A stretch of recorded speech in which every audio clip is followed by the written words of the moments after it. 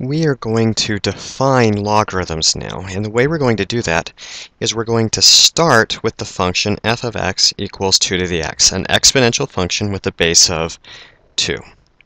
Well, if we do this and we build up our chart, we can have minus 3, minus 2, minus 1, 0, 1, 2, and 3.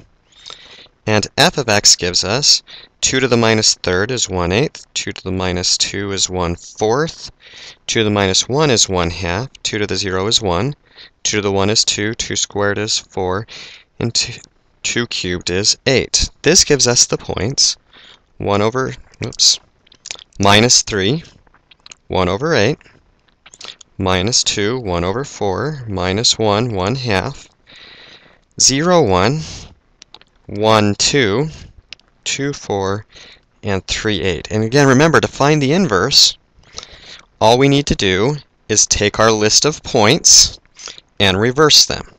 This becomes 1 eighth minus 3, 1 fourth minus 2, 1 half minus 1, 1 0, 2 1, 4 2, and 8 3. And so this gives us our input and output pairs for the inverse of f of x equals 2 to the x. So here's a graph with those points on it. So notice here's our exponential points and here's its inverse points. We call these inverse points logarithms. The logarithm is the inverse of the exponential. And so the most important thing to know about this is that if we say an output is equal to log base a of x, notice that a, that's the same as the base a for our, exponentials and follows the same rules, then this is true or is the same as